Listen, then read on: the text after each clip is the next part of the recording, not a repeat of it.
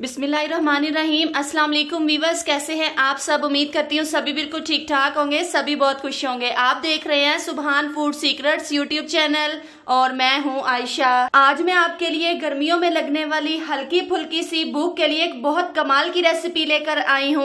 इस रेसिपी की सबसे खास बात मैं आपको बताऊँ कि आप इसे अपने बच्चों को लंच बॉक्स में भी दे सकते हैं। बहुत कम टाइम में ये बनने वाली रेसिपी है। जो लोग फ्राइड फ़ूड खाना पसंद नहीं करते हैं, उनके लिए ये एक हेल्थी ऑप्शन है। चलिए आपका टाइम जाया किए बिना ज़बरदस्ती रेसिपी की तरफ़ चलते हैं। इस ज़बरदस्त रेसिपी को बनाने के लिए यहाँ पर हमें चाहिए होगा, ये हमारे पास एक पाव चिकन है। और आप देख सकते हैं बोनलेस चिकन है और बोटियों का साइज़ आप चेक कर सकते हैं। बहुत छोटे छोटे साइजेस में मैंने इसको कट कर लिया हुआ है। इनके हमें बनाने होंगे तिक्के। यहाँ पर हम इसमें ऐड करेंगे वन टेबल स्पून के बराबर सिरका। One tablespoon soya sauce add करेंगे। सॉरी चिली सॉस ऐड करेंगे इसमें। और ये वन टेबल स्पून इसमें जाएगी सोया सॉस अच्छे से यहाँ पर हम इसको मिक्स कर लेंगे। अब इसमें कुछ स्पाइसेस की बारी आ जाती है। स्पाइसेस में यहाँ पर हम इसमें ऐड करेंगे, ये हमारे पास one tablespoon tikka masala है। आप लोगों के पास ये नहीं है तो आप दूसरे स्पाइसेस ऐड कर दीजिएगा, जो कि हम हंडी में ऐड करते हैं। अच्छे से इसको हम मिक्स कर लेंगे। टिक्का मसाला ऐड करके इसको हम कवर करके रख देंगे 15 से 20 मिनट के लिए एक साइड पे, ताकि चिकन हमारा ज़बरदस्त सा मैरिनेट हो जाए और मसाला इसके अंदर तक चला जाए। इसीलिए मैंने इस चिकन के छोटे छोटे से पीसेस किए हैं ताकि मिसाला बहुत ज़बरदस्त सा इनके अंदर तक रच जाएगा, ठीक है? और इसे हम फ्रिज में रख देते हैं।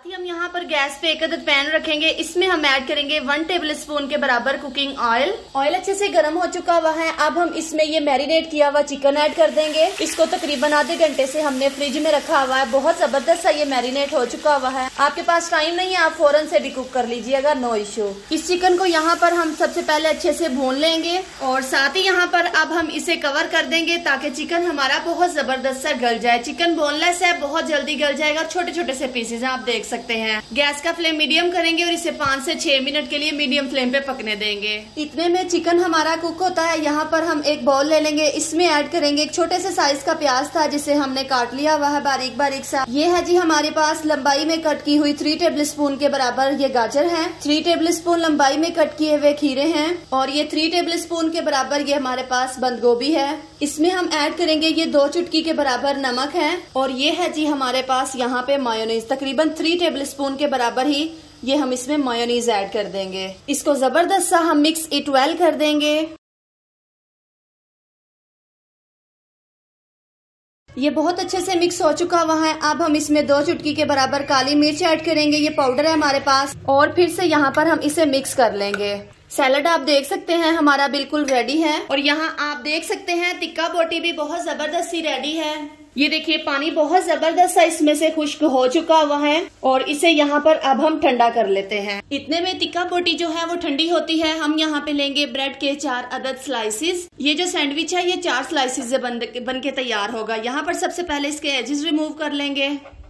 आप चाहें तो आप इसको रेडी करके फिर आप इसके रिमूव कर लीजिएगा, लेकिन उससे ये होगा, बहुत मुश्किल से होंगे तब। इनको आपने जाया नहीं करना, इनके बहुत ज़बरदस्त से ब्रेड क्रम्स बन जाएँगे। यहाँ पर सबसे पहले हम लेंगे ब्रेड का एक स्लाइस इसके ऊपर हम सबसे पहले मायोरीज लगाएँगे। इसकी सैम्पलिंग आप लोग देखिएगा, बहुत मज़े की होगी। अच्छे से इसको स्प्रेड कर देंगे। आप मायोनीज नहीं पसंद करते हैं तो इसके हिस्से पे आप कैचअप लगा सकते हैं। ये जी लगी यहाँ पे मायोनीज अब हम इसके ऊपर रखेंगे ये टिक्का बोटी, जिसको हमने रेडी करके रखा हुआ था।